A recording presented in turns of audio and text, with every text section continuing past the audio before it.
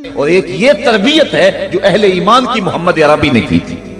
313 होके जबर की कुवतों के खिलाफ खड़े हो गए। जब उमैर ने जाके रिपोर्ट दी ना अबू जहल को कि वो तो तीन ऊँट खा सकेंगे, और 300 से कुछ कम और कुछ ज़्यादा उनकी तादाद है, इससे ज़्यादा नहीं है। मैं खूब वादियाँ देख आया हूँ, मैं खूब टीले देख आया हूँ। तो अबू जहल ने सुना दी कुरैश को बुलाकर कहा उमैर की रिपोर्ट सुनो, कितनी हौसला अफजा है। सुबह लड़ाई की नौबत नहीं आएगी। सुबह तो रस्सियाँ इकट्ठी करो और जकड़ जकड़ के मुसलमानों को ऊंटों की पुश्तों पे बाँध लेंगे और फिर सेने हरम में जाके काबतुल्ला की दीवारों के साथ बाँध देंगे। लोगों को तमाशा दिखाया करेंगे कि ये नया दीन लेकर आए थे और ये इनका क्या हाल है। जब उसने रऊनत भरे, इतनी ज़ुबान से इसके जुमले निकाले तो उमैर, जो सारा मंजर अपनी आँखों से देख कर आया था, इब्न हशाम में लफ्ज मौजूद है। उसने कहा, वला किन राया तो या माशरा कुरैशिन, अल बलाया तहमिल मनाया। ए कुरैश के सरदारों, इतने भी तकबर में ना आओ। मैं अपनी इन आँखों से देख कर आया हूँ कि यसरब की ऊंटनियाँ अपनी पुश्तों पे निरी मौतें उठा के ले आई हैं। उनके बदन पे चीथड़े हैं, उनके पेट कमर से लगे हुए हैं, लेकिन वो जख्मी सांपों की तरह पेचो ताब खा रहे हैं। कल उनमें से कोई नहीं मरेगा जब तक तुम में से एक एक को लड़ नहीं जाता। तुम तो ये कहते हो, रस्सियाँ इकट्ठी करो। मेरा मशवरा मानते हो तो रात के अंधेरे में भाग सकते हो तो भाग जाओ। उस कौम से लड़ना तुम्हारे बस का रोग नहीं है जो मरने के लिए आई है। इतनी बड़ी कुव्वत को देखकर उनके सीने में खौफ पैदा नहीं हुआ, बल्कि आप जानते हैं, बदर की तारीख गवाह है। कि दो घोड़े थे। एक रिवायत में सिर्फ़ एक घोड़ा था। छह जिरहें थी, आठ तलवारें थी। सत्तर ऊँट थे। और जिनके पास तलवारें नहीं थी, उन्होंने खजूरों के डंडे तोड़ लिए और हवाओं में लहराने शुरू कर दिए। जब ये मलकूती काफिला मदीने से बाहर निकल रहा था, दुकानों पे यहूदी ईसाई बैठे थे। उन्होंने कहा, मुसलमानों, किस बलबूते पे जा रहे हो? किस बरते पे जा रहे हो? कौन सा आसरा है तुम्हारा? आलात हरबो जरब तो तुम्हारे पास मौजूद नहीं। इतनी बड़ी कुब्बत से टकराने जा रहे हो, जो कील कांटे से और असले से आलात हरबो जरब से लेस होके आई है। तुम मुकाबला कैसे कर पाओगे? किस बल बोते पे जा रहे हो? हुजूर कमली ओढ़े साथ साथ चल रहे थे। सियाबा ने इशारा करके कहा, न तेगो तीर पर तकिया, न खंजर पर, न बाले पर। भरोसा है तो इस सादी सी काली कमली वाले पर।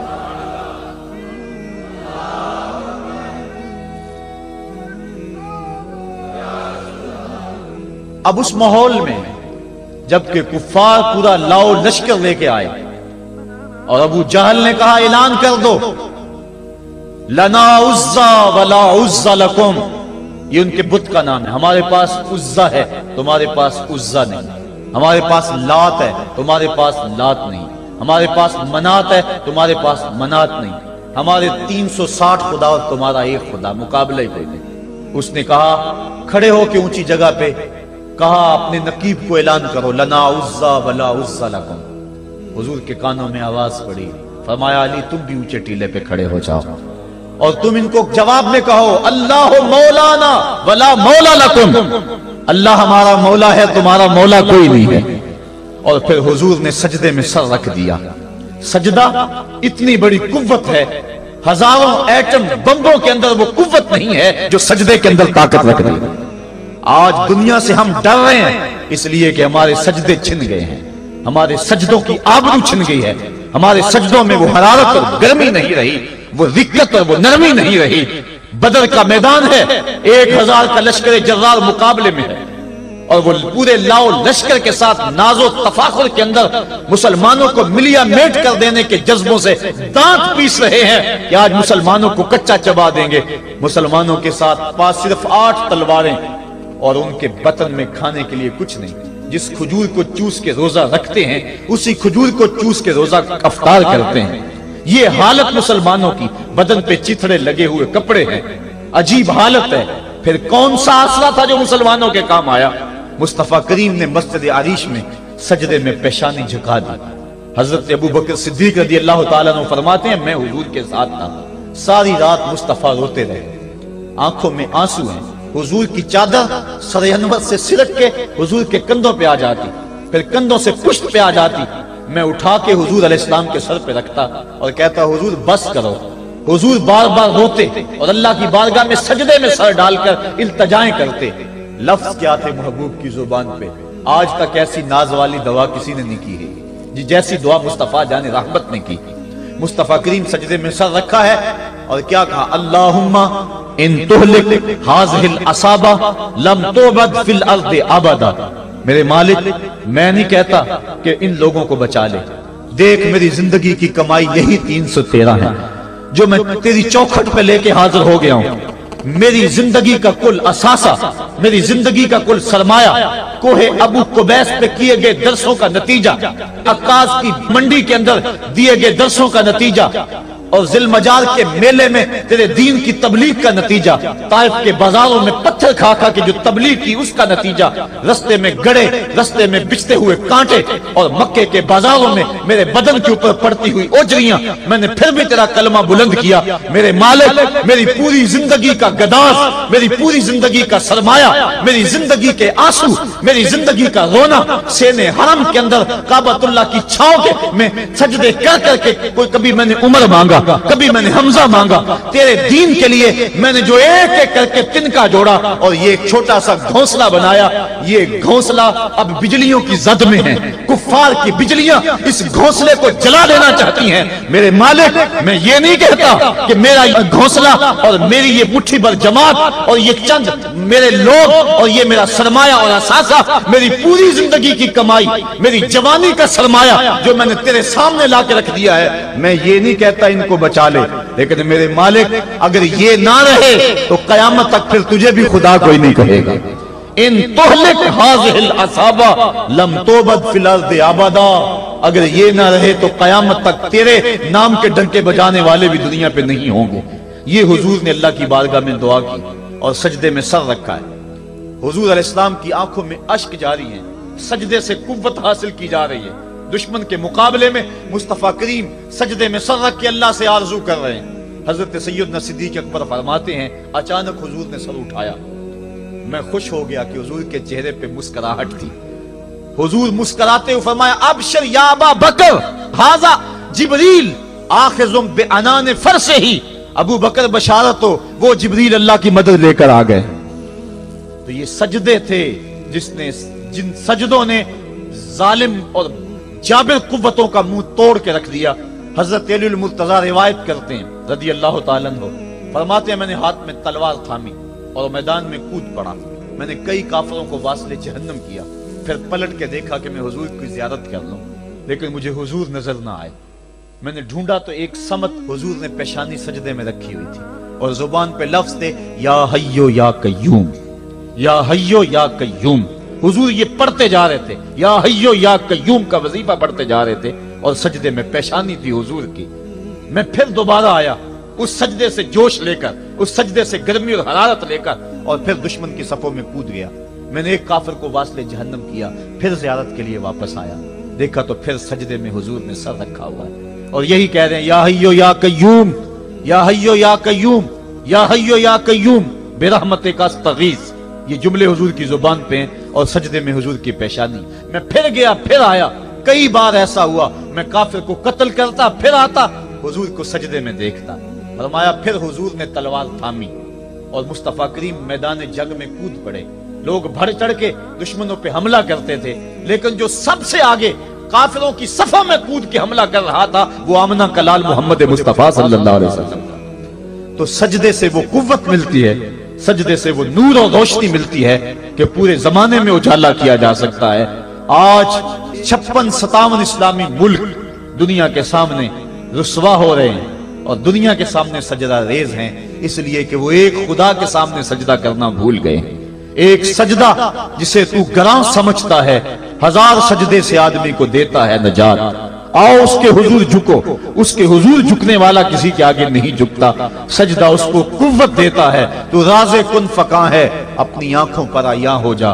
खुदी का राज ना हो जा, खुदा का तर्जुमा हो जा। खुदी में डूब जा गाफिल, ये सिर जिंदगानी है। निकल कर हल्काए शामो सहर से जा विदा हो जा। गुजर जा बन के सैले तुंदरू, कोहो बयाबा से। गुलिस्ता राह में आए तो जुए नगमा खां हो जा। मालिक के हुजूर, जब बंदा इज़्ज़त से सर झुका देता है, अल्लाह की रहमतें बंदे पे नाजर होती है। एक रिवायत में आता है, जब बंदा नमाज़ के लिए खड़ा होता है, अभी उसने सजदे में जाना होता है, अभी वो कयाम ही करता है। अल्लाह फरमाता है, मेरे बंदे के गुना मेरे बंदे के गुना जो है, इसके बदन से निकाल के एक समत कर दो, ताकि मेरा बंदा इस हालत के अंदर मेरे हुजूर हाजिर हो के वो गुनाहों से पाक और साफ़ हो। हज़रत नबी रहमत सल्लल्लाहु अलैहि वसल्लम फरमाते हैं कि फिर उसके सारे गुना उसके बदन से उतार के एक समझ रख दिए जाते और बंदा मुसल्ले पे सुबहान रब्बी अला के नगमे अलापता है, रुकू करता है, सजदे करता है। जब सलाम फेर के, नमाज़ खत्म करके, दुआ करके जाने लगता है तो फरिश्ते अर्ज़ करते हैं मालिक, ये जो गुना उतार के एक साइड पे रखे थे, ये दोबारा इसको दे दें? अल्लाह फरमाता जिसकी झोली से गुना निकाल लिए थे, दोबारा उसकी झोली में नहीं डाला। अल्लाह अकबर। और एक रिवायत के लफ्ज है कि जब बंदा नमाज़ के लिए खड़ा होता है, उसके कंधों के ऊपर सारे गुना आ जाते हैं और उसके सर पे ऊपर गुना आ जाते हैं। जब रकू में जाता है तो कंधों वाले गुना गिर जाते हैं। और जब बंदा सजदे में सर रखता है तो अल्लाह ताला उसके सारे गुनाहों को खत्म कर देता है और वो बिल्कुल पाक हो जाता है। हज़रत सुलेमान फारसी एक दिन एक दरख्त के नीचे खड़े थे। आपने दरख्त की शाख को पकड़ के जुम्बश दी, हरकत दी मौसम खजा था, दरख्त की शाख के सारे जर्द पत्ते गिर गए। एक सिहाबी पास खड़े थे, उन्हें पूछने लगे, उस्मान, तूने मुझे पूछा नहीं कि मैंने दरख्त की शाख को यूँ हलाया क्यों है? उन्होंने कहा अच्छा फिर आप बता दें कि आपने दरख्त की शाख को यूँ क्यों हिलाया है? कहा, सुनो फिर, एक दिन मैं और चंद सिहाबा हुजूर के साथ जा रहे थे, रस्ते में एक दरख्त आया, उसके नीचे हुजूर खड़े हुए। हुजूर ने इस तरह दरख्त की शाख को पकड़ के हिलाया यूँ पत्ते झड़ गए। हम इस मंजर को देखते रहे। हजूर हुजूर ने फरमाया, सलमान फारसी, तूने मुझे पूछा नहीं कि मैंने इस दरख्त की शाख को यूँ क्यों हिलाया है? तो मैंने अर्ज़ की, हुजूर, आप बता दें कि आपने क्यों हिलाया है? फरमाया, सलमान, जिस तरह इस दरख्त की शाख को हलाया गया और सारे पत्ते झड़ गए, जब कोई बंदा सजदे में सर रखता है, नमाज़ पढ़ता है, उसके सारे गुनाह धुल जाते हैं और वो पाक और साफ़ हो जाता है। एक दिन फरमाया से आबा अगर कोई बंदा उसके घर के सामने से नहर गुजरती हो और वो दिन में पाँच मरतबा उस नहर के अंदर गुसल करे तो बताओ उसके बदन के ऊपर कोई मैल कुचैल रह जाएगा? अर्ज़ की, नहीं। फरमाया, इस तरह जो पाँच नमाजें पढ़ता है, उसके बदन के ऊपर गुनाहों का मैल नहीं रहता। फरमाया सला तो मेराजुल मोमिनीन, नमाज़ मोमिनों का मेराज है। इमादुद्दीन असलात नमाज़ दीन का सुतून है। हुब्बा इलैया मिन दुनिया तुम सलास, अतीब बन निसा, व जोइलत कुर्रत ऐनी फ़ी सलात। मुझे तुम्हारी दुनिया से सिर्फ़ तीन चीज़ें पसंद हैं। खुशबू, मनकूहा बीवियाँ और मेरी आँखों की ठंडक नमाज़ में रखी है। और हुजूर ने यह भी इशार फरमाया, मन तारा सलाता मुतमदन फकद काफर। जिसने जान बूझ के नमाज़ छोड़ी, गोया उसने कुफर ही तो किया, यानी काफरों वाला काम किया। हज़रत इमाम फखरुद्दीन राज़ी ने तफसीर कबीर में लिखा हाफिजुलसलावात वसलातुलवस्ता इस करीमा के तहत, एक औरत मदीने की गलियों में चीख रही है और कहने लगी, मुझे हुजूर के दर का पता बताओ। हुजूर की चौखट का पता बतलाया गया, वो हाजिर हुई। आका करीम सल्लल्लाहु अलैहि वसल्लम की खिदमत में अर्ज़ की, हुजूर, मेरा खामद सफ़र पे गया हुआ था और मैंने उसकी अदब मौजूदगी के अंदर जना कर लिया। हमल ठहर गया और जो बच्चा पैदा हुआ मैंने मारे शर्म के, उस बच्चे को सिरके के मर्तबान में डाल दिया और फिर उसी सिरके से मैं लोगों को फरोख्त करती रही। हूँ अब जबकि मेरा जमीर जागा है, मैं आपकी खिदमत में हाजिर हुई मुझे बताया जाए कि मेरे गुनाह का भी कोई कुफारा है। हुजूर ने इशाद फरमाया, जो तूने जना किया है, उसकी सजा रज्म है, क्योंकि तू शादीशुदा है। और जो तूने बच्चे को कत्ल किया है, कत्ल की सजा कत्ल है। और जो तूने सिरका बेचा है, फकद इरतकब कबीरा, तूने कबीरा गुनाह किया है, उसकी सजा तो कयामत के दिन पाएगी। उसके बाद हजूर फरमाया, इन तीनों गुनाहों की यह सजा है, लेकिन जिस तरह तू घबराई हुई आई थी मैं तो ये समझा था शायद तेरी नमाज़ असर कदा हो गई है। अब आप अंदाज़ा करें कि नमाज़ की अहमियत क्या है और हम इस बात में कितनी सुस्ती करते हैं। किसी से पूछा जाए, ना आओ नमाज़ पढ़ने चले। वो कहते हैं, बस यार, मेरे कपड़े पलीद हैं, कपड़े मेरे पाक नहीं है। तेरे कपड़े कैसे पाक रह सकते हैं? तू अल्लाह के हुजूर झुकना नहीं जानता। तेरे कपड़े भी पलीद है, तेरा दिल भी पलीद है। तू उसके हुजूर झुक के तो देख, तन भी सुथरा कर देगा, तेरी रूह को भी पाकी दे देगा, तेरे कलब को भी तहारत बख्श देगा। तो उसके हुजूर, आ, झुक। उसके हुजूर सजदों से अल्लाह के हुजूर खिराज पेश कर अपनी मोहब्बतों का। जब बंदा सजदे में सर रखता है, अल्लाह फरिश्तों में फख्र करता है, मेरे बंदे को देखो ना बिलाकर मेरे हुजूरी झुका है ना। कितने गुना किए इसने, कितने जुर्म किए इसने।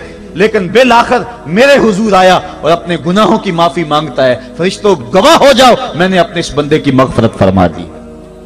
तो अल्लाह के हुजूर नमाज़ पढ़ने वाला, बल्कि एक रिवायत मुस्तद इमाम अहमद बिन हम्बल में मौजूद है। हुजूर फरमाया, जब बंदा नमाज़ के इरादे के लिए उठता है और वज़ू करने के लिए, जब पानी का पहला कतरा चुल्लू पे लेता है, जू ही उसके बदन से वज़ू का पानी छूता है, अल्लाह उसके गुनाहों को माफ़ फरमा देता है। जिस नमाज़ के कष्ट के लिए उठें और वज़ू करें और पानी छूते ही गुनाह माफ़ हो जाएँ, अगर उस नमाज़ का आला दर्जा सजदा कर लिया जाए तो फिर मालिक की कितनी रहमत होगी ये कितनी बड़ी दौलत है, ये कितना बड़ा सरमाया है, जिससे हम लोग महरूम रह जाते हैं। आओ, अल्लाह की रहमतें सजदे में ढूंढे, सजदे में पेशानी रख के जब हम उसकी रहमत को मांगे तो वो मालिक हमारे ऊपर रहमतें नाजल करेगा। आज पूरी दुनिया के ऊपर मुसलमानों के साथ जो हालात हैं, वो किसी से मख्फी नहीं। कोई कहा, कहता है कि मुआशी तौर पे मुसलमान कमज़ोर हैं। इस वजह को भी मैं तस्लीम करता हूँ। मुसलमान के पास आलात हरबो जरब भी मौजूद नहीं है। इस वजह को भी तस्लीम कर लिया जाए। सियासी तौर पे मुसलमान कमज़ोर हैं, इस वजह को भी तस्लीम कर लिया जाए। ये सारी वजहें अपनी जगह पे। लेकिन ये भी तो सुनो, मुसलमानों की तादाद इस वक्त एक अरब चालीस करोड़ है। अफराधी कुत इतनी कभी भी मुसलमानों की नहीं हुई थी।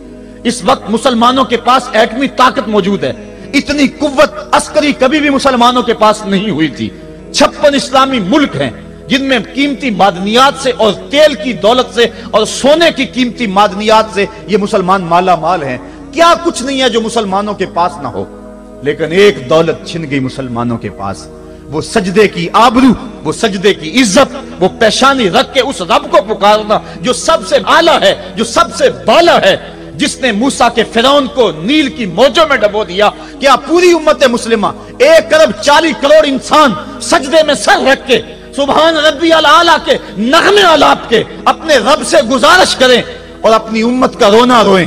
कश्मीर में लुटती हुई जवानियाँ और कल कुद्स के अंदर बहता हुआ खून शबरखान से लेकर काबलो किंधार तक और मूसल से लेकर तकरीब तक मुसलमान के ऊपर जो जुल्म तशद हो रहे हैं, अपने रब के हुजूर उसका दुखड़ा सुनाएँ। और अपने मालिक को कहें, मेरे मालिक, हम लुट गए, हम कट गए, हम पिट गए। असले भी मौजूद अफराधी कुत भी मौजूद, सियासी ताकतें भी मौजूद, लेकिन इसके बावजूद मुसलमान दबता चला जा रहा है। उसी कश्ती को है खौफ तलातम सदैफ मुँह मोड़ दिए थे जिसने बढ़ते हुए तूफानों के, जो तीन सौ होकर जुर्रत और वो ताकत और वो अजीमत की दास्तान रकम करते हैं। कि मालिक, तू भी उस दिन को योम फुरकान कह के पुकारता है। आज वो उम्मत बीच मिंजदार के उस उम्मत की कश्ती हचकोले खा रही है। हमारा, हमारी फरियाद, हमारा इस्तगासा तेरे से है। मेरे मालिक हमारी, हमारा खोया हुआ वकार बहाल कर दे और इस उम्मत को उस मरतबा कमाल तक पहुँचा दे। जिस मरतबा कमाल तक ये उम्मत पहले पहुँची थी और इनका खोया हुआ वकार बहाल कर दिया जाए। आज भी हम अगर सजदों से अपने रब को मना लें और वो रूठा हुआ रब आज भी हमारी मदद के लिए आ जाए तो फिर कोई कुत कोई ताकत हमें नहीं लटार सकती। आइए हम सजदे से अपने मालिक, अपने खालिक और अपने राजिक के हुजूर, अपनी मोहब्बतों और अपनी उल्फतों का खराज पेश करें। नमाज़ एक ऐसी इबादत है जिसका हुक्म कुरान में साढ़े सात सौ मरतबा के करीब दिया गया। और एक आखिरी बात अर्ज़ करके अपने मौजू को समेटना चाहूँगा। मेरे और आपके आका मौला, हुजूर नबी रहमत वसल्लम पर जब वक्त आखिर आया तो आखिरी वसीयतें जो हुजूर ने अपनी ज़िंदगी में की, वो क्या थी?